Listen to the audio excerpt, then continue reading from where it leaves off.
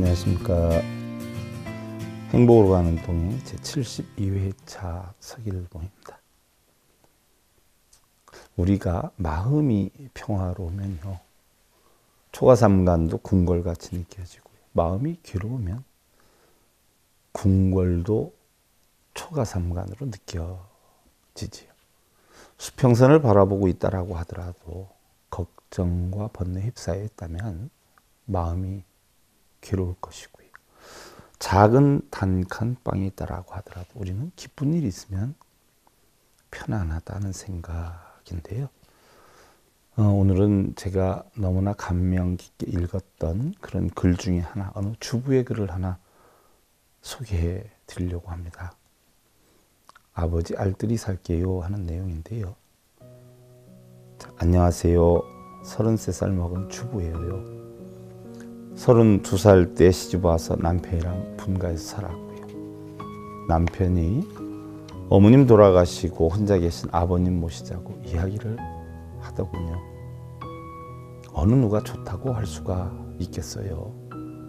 그 일로 남편이랑 많이 싸웠어요. 아, 위에 형님도 있으신데 왜 우리가 모시느냐고. 아주버님은 대기업에 다니셔서 형편이 정말 좋아요. 그 일로 남편과 매일 싸우다시피 했죠. 그런데 하루는 남편이 술을 먹고 와서 울면서 말을 하더군요. 뭐든 다른 거는 내가 시키는 대로 하자는 대로 다 할 테니까 제발 이번만은 부탁 좀 들어줘. 그러면서 이야기를 하더라고요. 남편이 어릴 적 엄청 개구장이였대요.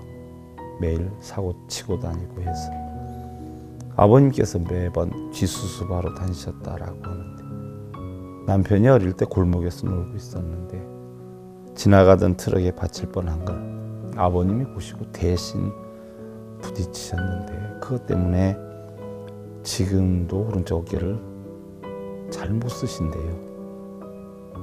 그리고 아버님 하시던 일이 막노동이었는데 남편이 군제대하고도 26살 때까지쯤 놀고 있었고요. 아버님이 남편을 늦게 낳으셔서 지금 아버님 연세가 68세 되시는데요. 남편은 33살이에요. 60세가 넘으셨을 때도 막노동 하시면서 가족들 먹여 살리느라 고생만 하셨다고 하네요. 막노동을 오래 하면 시멘트 독이라고 하나? 하여튼 그것 때문에 손도 쩍쩍 갈라지셔서 겨울만 되면 많이 아파하신다고 하더라고요. 평생 모아오신 것으로 어, 당신이 마련하셨던 그 조그만 집도 아주버님이랑 뭐 남편 결혼할 때 집장만 해주신다고 다 바르시고 지금은 전세 사신다고 하고요. 그런데 어머님까지 돌아가시고 혼자 계신 거 보니까 마음이 아파서 눈물이 자주 난다라고 하더라고요. 저희요, 전 살림하고 남편 혼자서 버는데 한 달에 150 정도 벌어와요. 근데 그걸로 아버님 오시면 아무래도 반찬도 신경 써야 하고 여러 가지로 힘들 것 같더라고요. 그때 또 임신도 해서 3개월째였는데 형님은 절대로 못 모신다라고 못을 박았고요. 아주버님도 그럴 생각이 없다라고 남편이 말을 하더라고요. 어떻게 해요? 저렇게까지 남편이 말을 하는데. 그래서 넉 달 전서부터 모시기로 하고 아버님 모셔왔어요. 처음에는 아버님 오지 않으시려고 자꾸 거절하시더라고요. 늙은이가 가봐야 집만 되고 눈치 보이신다 하면서요.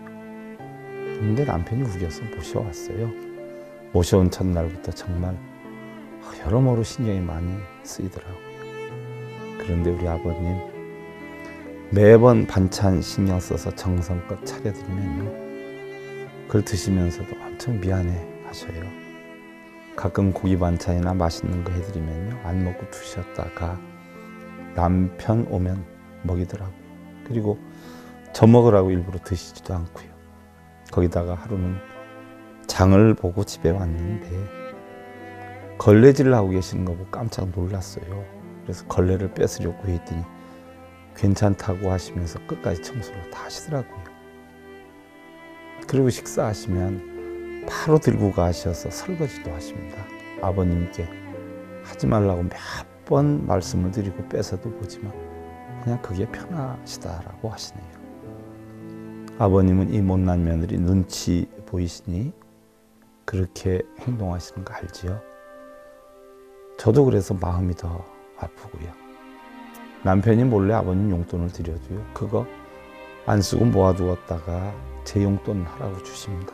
어제는 정말 아버님께 죄인이라도 된 듯해서 눈물이 왈칵 나오는데 아, 참을 수가 없더라고요.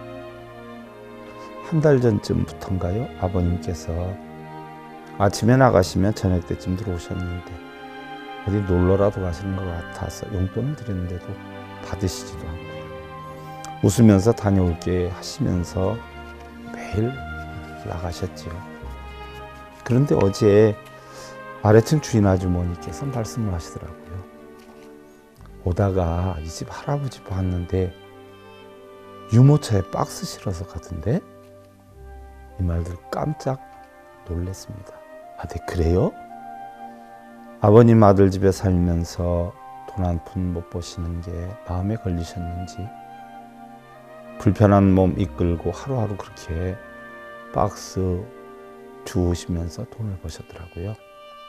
그 이야기 듣고 밖으로 뛰쳐 나갔어요. 아버님 찾으려고. 이리저리 돌아다녀도 안 보이시더라고요.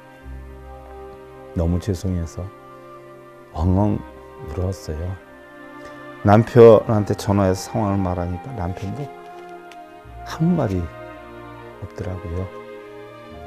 저녁 5시 정도 조금 넘었나? 남편이 평소보다 일찍 들어왔어요. 남편도 마음이 안 좋은지 아버님 찾으러 나간다고 곧바로 나갔지요. 제가 바보였어요. 진작 알았어야 하는데. 며칠 전부터 아버님께서 저먹으라고 봉지에 들려주시던 과일과 과자들이 아버님께서 어떻게 이래서 사오신 것인지를 못난 며느리 눈치 안 보셔도 되는데 그게 불편하셨던지. 아들 집 오셔서도 편하게 못 지내고 눈치만 보시다가 불편하신 몸 이 끌고 그렇게 일하고 있으셨다 하니 친정의 우리 아빠도 고생만 하시다 돌아가셨는데 돌아가신 아빠 생각도 나고 해서요 한참을 울었어요.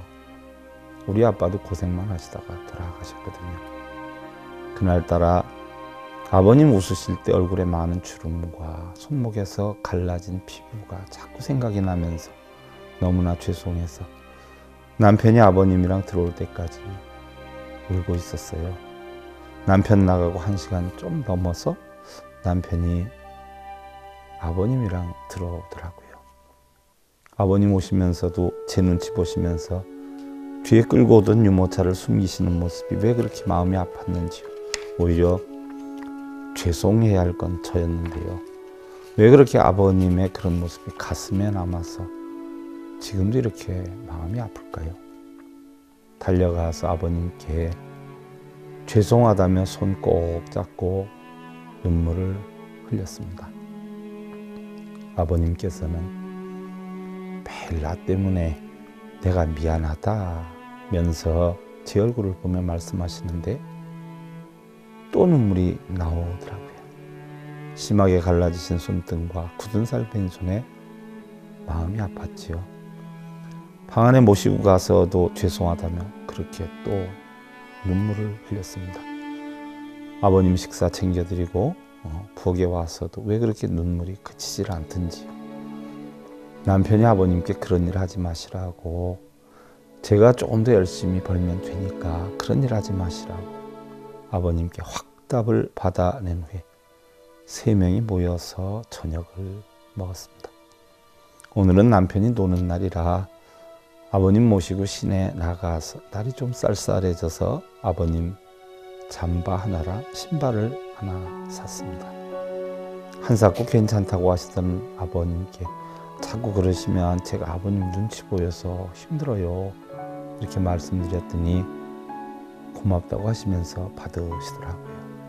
그리고 집에서 아버님이 심심하실까봐 케이블 TV도 신청했고요. 아버님께서 스포츠를 좋아하시는데 오늘 야구 방송이랑 낚시 방송 보시면서 너무 즐거워 하시더라고요.